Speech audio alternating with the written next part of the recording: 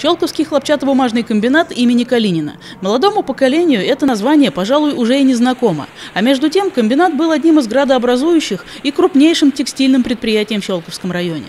Он прекратил свое существование в конце 90-х. Сегодня производственные корпуса сдаются в аренду. Но история его в Щелкове не забыта.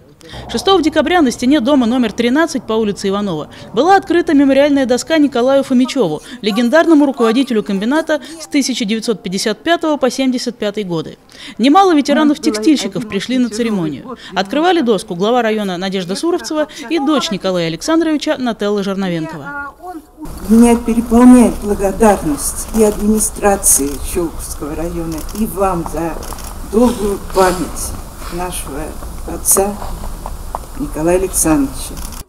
Николая Фомичева называли уникальным человеком и руководителем. Он пользовался авторитетом не только на комбинате и в районе, во всей текстильной отрасли Подмосковья.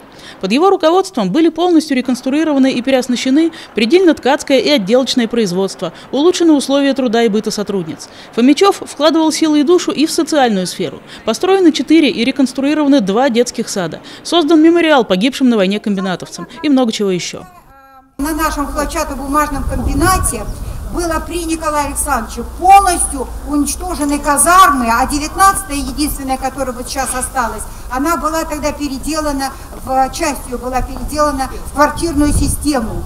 А, а какой шикарный санаторий профилакторий был построен при нем. И фактически в течение года каждый из нас проходил лечение в этом санатории профилактории.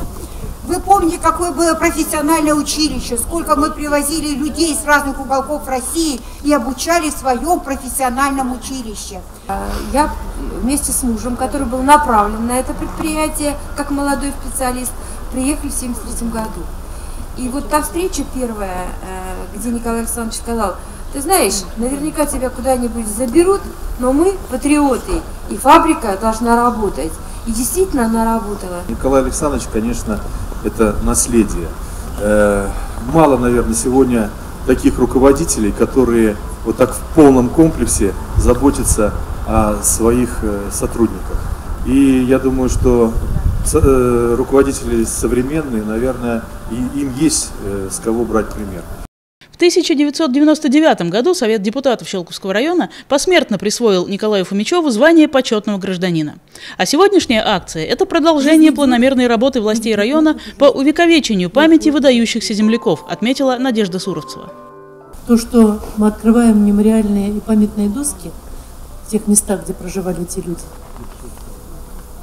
делается для того, чтобы правильно воспитывались наше, наше подрастающее поколение чтобы люди, которые живут в этом микрорайоне, которые приезжают в наш город, видели, сколько достойных памяти, достойных уважения людей жили в этом городе. Теперь ветераны хлопчатобумажного комбината вышли с инициативой присвоить улице Фабричной имя Николая Фомичева. Ирина Микеда, Сергей Максимов, телерадиокомпания «Щелково».